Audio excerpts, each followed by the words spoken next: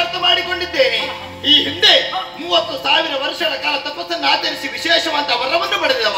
ಹೆಚ್ಚೇಕೆ ಅರವತ್ತು ಸಾವಿರ ವರ್ಷಗಳ ಕಾಲ ಬದುಕುವುದಕ್ಕೆ ಆಯುಷನ್ನು ಕೊಟ್ಟವ ಪರಮೇಶ್ವರ ದೇವ. ಏನು ಮಾಡೋಣ? ಪಾರ್ವತಿ ಮಾತೆಯ ಪ್ರೀತಿಗೆ ಪಾತ್ರದ ಪುತ್ರ ನೀನು. ಸಜ್ಜನರ ಸಂಘವನ್ನು ಮಾಡುವುದರ ಬದಲು ದುಷ್ಟ ಪ್ರವೃತ್ತಿಯನ್ನು ಮೈಗೂಡಿಸಿಬಿಟ್ಟೆ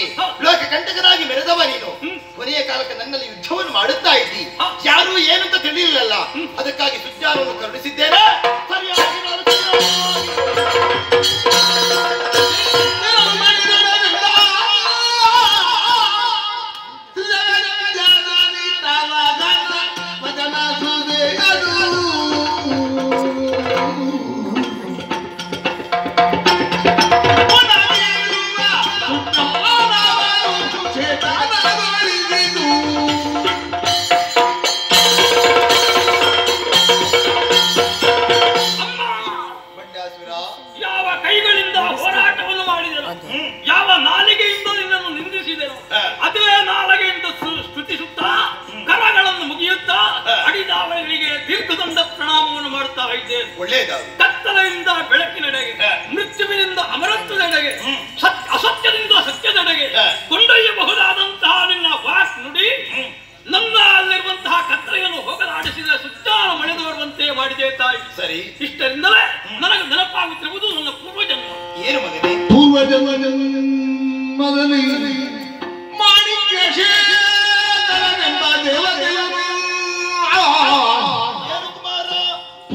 ಪೂರ್ವಜನ್ಮದಲ್ಲಿ ಮಾಣಿಕ್ಯ ಶೇಖರನೆಂಬ ದೇವತೆಯನು ಶ್ರೀ ಮಹಾರಮಾದೇವಿಯಲ್ಲಿ ಸೇವೆಯುತ್ತಿರುತ್ತಿರಲು ಒಂದು ದಿನ ಗಂಗಾ ನದಿ ತೀರ ಎಡೆಗೆ ತೆರಳಿ ಕಾವಲಿಗೆ ನಿಲ್ಲಿಸುತ್ತನು ತಪವನ್ನು ಸಗುತ್ತಿರ ದೇವಿ ಕಿನ್ನರ ತರುಣಿಯೋರ್ವಳೈ ತರುತ್ತಲ ಅವನದಿಯೋಳ್ ನೀಯುತ್ತಿರುವ ವೇಳೆಯಲ್ಲಿ ಸುಳಿಗೆ ಸಿಲುಕಿ ಏನಾಯ್ತು ಮೊರೆ ಇಡಲು ಕೇಳಿ ಜಡಗನೇತ್ರೆಯ ಪೊರೆಯ ತಲೆ ಒಡನೆ ನದಿಯಲ್ಲಿ ಧುಮುಕಿ. ನಾರಿಯ ದಡವ ಸೇರಿದ ಗಮನದ ರೂಪವ ಕಂಡು ಮೋಹದಲ್ಲಿ ಕೈಗಳೇ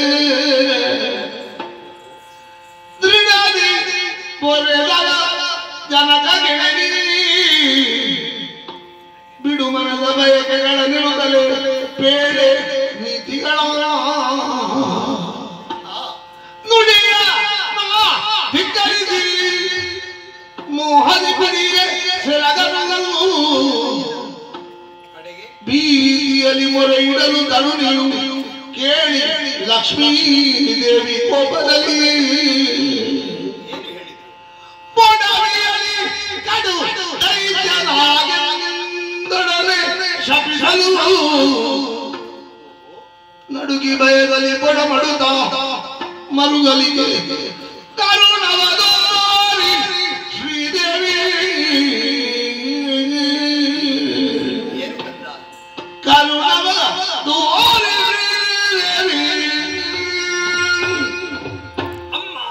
ಕುಮಾರ ಆ ಪ್ರಕರಣವನ್ನು ಎಣಿಸಿಕೊಂಡ್ರೆ ನಾಲಗೆ ತೊದಲ್ತದೆ ಶರೀರ ನಡುಗುತ್ತದೆ. ಯಾಕಪ್ಪ?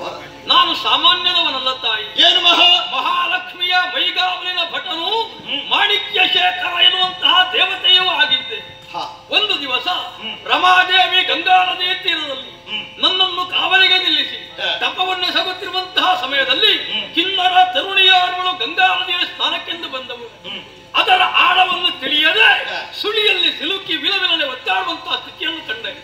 ಅವಳ ಆರ್ತನಾದವನ್ನು ಆಲಿಸಿದಂತಹ ನಾನು.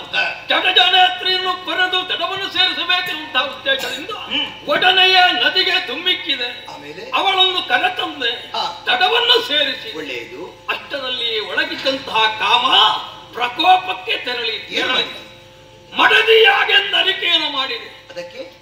ಯಾವನು ಅಪತ್ಕಾಲದಲ್ಲಿ ಸಲಹೆ ತಾನು ಅಂತವನು ಜನಕಂಗೇಣೆ. ನೀನು ನನಗೆ ತಂದೆಗೆ ಸಮಾನ.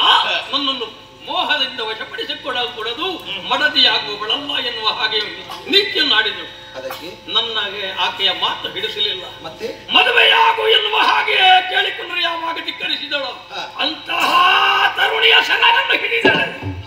ತಪಸ್ಸಿನಿಂದ ಎಚ್ಚೆತ್ತಿದ್ದಂತಹ ಮಹಾಲಕ್ಷ್ಮಿ ಆಕೆಯ ಮೊರೆಯನ್ನು ಆರಿಸಿದಳು.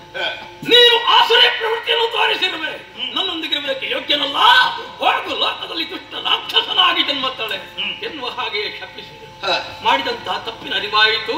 ಆಕೆಯ ಪಾದಕ್ಕೆ ಪಡಮಟ್ಟ ಅಮ್ಮ ಅದನ್ನು ಸನ್ನಿಧಾನವನ್ನು ಬಿಟ್ಟಿರುವುದಕ್ಕೆ ನನ್ನಿಂದ ಸಾಧ್ಯ ಇಲ್ಲ ಶೀಘ್ರದಲ್ಲಿ ಮತ್ತೆ ನನ್ನನ್ನು ಸೇರಿಸಿಕೊಳ್ಳಬೇಕು.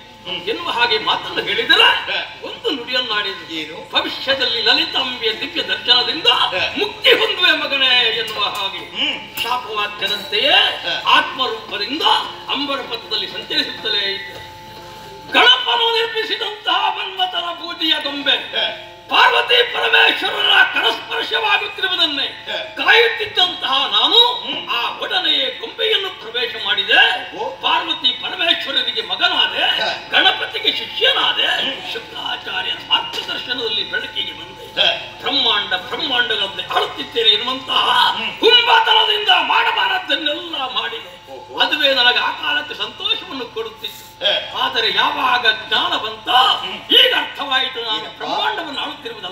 ಮತ್ತೆ? ಪಾಪದ ಪಾಂಡದಲ್ಲಿ ಪಂಡಾಸುರನೆಂಬ ಹುಳವಾಗಿ ತಿರುಗಾಡ್ತಾ ಇದ್ದೇನೆ ಎನ್ನುವ ಹಾಗೆ. ಸತ್ಯದ ಅರಿವಾಗಿದೆ ತಾಯಿ. ನನಗೆ ಈ ದೇಹದಿಂದ ಮುಕ್ತಿ ಬೇಕು. ಅದಕ್ಕಾಗಿಯೇ ಪರಿಪರಿಯಿಂದ ಸ್ತುತಿಸ್ತಾ ಇದ್ದೇನೆ. ಶ್ರೀದೇವಿ ಲಲಿತಾಂಬೆ ದಿವ್ಯ ಚರಿತೆ ಶ್ರೀಚಕ್ರ ಮಧ್ಯಸ್ಥಿ. ವೇದಾರಾಧ್ಯ ಸಹಸ್ರಪಾನುಬಿಂಬ ಸದೃಶೆ ತ್ರೈನೇತ್ರ ಸಂಪೂರ್ಣಿತೆ ಬಾರ ಪದಾರಿಷ್ಟಗಳನ್ನು ನಿವಾರಿಸುತ್ತಾ.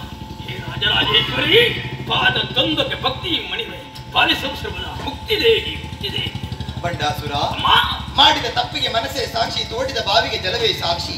ನೀನು ಮಾಡಿದ ತಪ್ಪಿನ ಅರಿವು ನಿನಗೆ ಅರ್ಥವಾಯಿತು. ಕೊನೆಯ ಕಾಲಕ್ಕೆ ಮೋಕ್ಷವನ್ನು ಬಯಸ್ತಾ ಇದ್ಯಾ? ನಿನ್ನ ಆಸೆಯನ್ನು ಪೂರೈಸುವುದಕ್ಕಾಗಿ ಇದೋ ಕಾಮೇಶ್ವರ ಅಸ್ತ್ರವನ್ನು ಪ್ರಯೋಗಿಸಿ ಮೋಕ್ಷವನ್ನು ಕರುಣಿಸುತ್ತೇನೆ.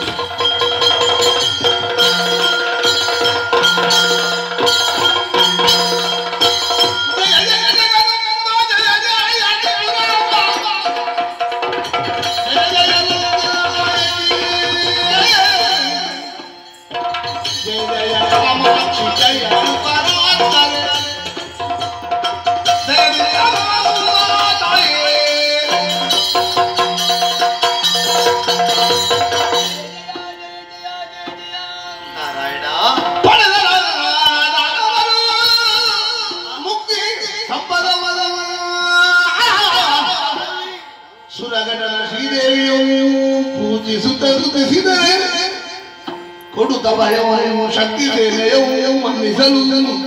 ಹರಿಹರ ನಾರಾಯಣ ನಿಮಗೆಲ್ಲರಿಗೂ ಕಷ್ಟವನ್ನು ಕೊಡುತ್ತಿದ್ದ ದುರುಳ ಬಂಡಾಸುರನ್ನು ವಧಿಸಿ ಲೋಕಕ್ಕೆ ಸೌಖ್ಯವನ್ನು ಒದಗಿಸುವಳು ನಾನು. ಕಳೆದುಕೊಂಡಂತ ಸ್ವರ್ಗದ ಪೀಠವನ್ನು ಇಂದ್ರನಿಗೆ ಪುನರಪಿ ಒಪ್ಪಿಸಿದ್ದೇನೆ. ಎಂತ ಸಂತೋಷ ಮುಖದಲ್ಲಿ ನೋಡು. ಸ್ವರ್ಗವನ್ನೇ ಏರ್ಲಿ. ನೀವು ನಿಮ್ಮ ನಿಮ್ಮ ಪುರವನ್ನು ಸೇರಿಕೊಳ್ಳಿ. ಕಾರ್ಯದ ದೃಷ್ಟಿಯಿಂದ ಎಸಗುತ್ತಾ ಬನ್ನಿ. ಇನ್ನು ಮುಂದೆ ಲೋಕದಲ್ಲಿ ಶ್ರದ್ಧಾಭಕ್ತಿಯಿಂದ ಲಲಿತ ಸಹಸ್ರನಾಮ ಅಥವಾ ಚಂಡಿಕೆ ಯಾಗವನ್ನು ಯಾರು ಮಾಡುತ್ತಾರೋ ಅಂತವರ ಕಷ್ಟವನ್ನು ಪರಿಹರಿಸುವುದಕ್ಕಾಗಿ ಮಣಿ ದ್ವೀಪದಲ್ಲಿ ಲಲಿತಾಂಬಿಕೆಯಾಗಿದ್ದಲೇ ಆಗುತ್ತೇನೆ. ಲಲಿತಾಂಬಿಕೆಯಾಗಿದ್ದಲೇ ಆಗುತ್ತೇನೆ.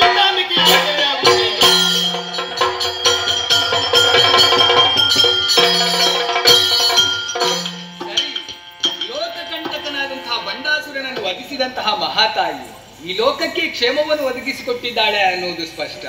ಹಾಗಿದ್ರೆ ಇದರ ಅರ್ಥ ಏನು? ಧರ್ಮವು ರಕ್ಷತಿ ರಕ್ಷಿತ.